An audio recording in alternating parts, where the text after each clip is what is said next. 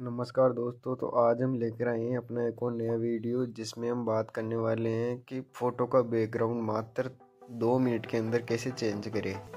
इसमें आपको कुछ भी नहीं करना होता है सिर्फ़ फ़ोटो अपलोड करनी होती है और अपने आप बैकग्राउंड चेंज हो जाएगा।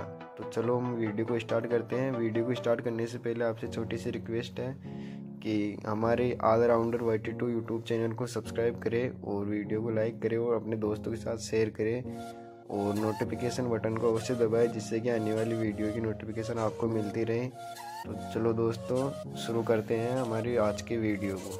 तो सबसे पहले हम अपने मोबाइल के प्ले स्टोर को ओपन कर लेते हैं। तो मैं प्ले स्टोर ओपन कर लेता हूँ। यहाँ पर सर्च बार में आपको सर्च करना है रिमूव बैकग्राउंड तो यहाँ पर सर्च कर लेंगे जो कि आइकन लिखा हुआ आ रहा है आपकी स्क्रीन पर रिमूव बैकग्राउंड जैसे ही सर्च होता था आपके सामने इस तरह की स्क्रीन सामने आएगी तो यहाँ पर सबसे पहले पहले से, मैंने पहले से इंस्टॉल किया हुआ तो मैं इसको ओपन कर लेता हूँ। ओपन करने के बाद में इस तरह का स्क्रीन आपके सामने आएगी और यहाँ पे लिखा हुआ अपलोड इमेज तो मैं इस पर क्लिक कर देता हूँ और कोई भी एक फ़ोटो चुन लेता हूँ। तो मैं अपनी गैलरी में से एक फ़ोटो चुन हूँ। तो मैंने यहाँ पर एक फ़ोटो चुन लिया है और और ये फ़ोटो अपने आप एडिट हो जाएगी। तो जैसे ही एडिट हुई, आप देख सकते हैं कि जो मैंने फ़ोटो चुना था, उसका बैकग्राउंड अपने आप चेंज हो चुका है।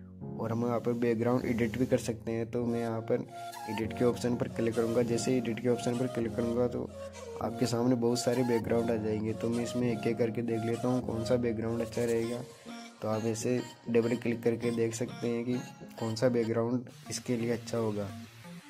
दोस्तों, आपको कोई सा भी बैकग्राउंड अच्छा लगे, वो आप लगा सकते हैं। इसमें लगभग 20-30 से ज़्यादा बैकग्राउंड आते हैं। तो मैं यहाँ पर बैकग्राउंड चेंज करके आपको बता रहा हूँ बार बार कि आप कोई सा बैकग्राउंड लगा सकते हैं। सिर्फ़ आपको बैकग्राउंड पर डबल क्लिक करना, आपको कट करने की ज़रूरत भी नहीं है डायरेक्ट बैकग्राउंड लग जाता है। और मैं यहाँ पर देख लेता हूँ, मेरे को अच्छा लगा तो मैं ये लगा देता हूँ। अगर आप कलर पर बैकग्राउंड लगाना चाहते हैं तो वो भी लगा सकते हैं, जैसे सेम कलर वाला, जैसे मैंने नीला लगाया। और ऐसे करके आप कोई सा बैकग्राउंड लगा सकते हैं जो पीछे सिर्फ़ कलर रहेगा। इससे आप पासपोर्ट साइज़ फ़ोटो को भी बैकग्राउंड चेंज कर सकते हैं। अगर आपको फ़ोटो में से कुछ पार्ट को हटाना या मिटाना तो आप रिस्टोर एंड इरेजर के आइकन पर क्लिक करेंगे और यहाँ पर हम छोटे साइज़ को छोटा बड़ा कर सकते हैं इरेजर की को। तो हम, आप देख सकते हैं, मैं यहाँ पर मिटा सकता हूँ इसको। और वापस अगर रिस्टोर करना है तो मैं रिस्टोर के बटन पर क्लिक करूँगा। तो रिस्टोर के बटन पर क्लिक करके मैं वापस इसको ला सकता हूँ।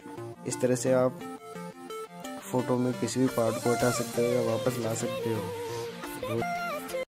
तो आपको वीडियो कैसी लगी कमेंट सेक्शन में अवश्य बताएँ और चैनल को सब्सक्राइब ज़रूर करें, जिससे कि आने वाली वीडियो की नोटिफिकेशन आपको मिलते रहे। तो दोस्तों, आपको फ़ोटो गैलरी के अंदर लेने के लिए आपको यहाँ पर ऊपर डाउनलोड का ऑप्शन दिखाई दे रहा है, उस पर क्लिक करना होगा और डाउनलोड इमेज कर देना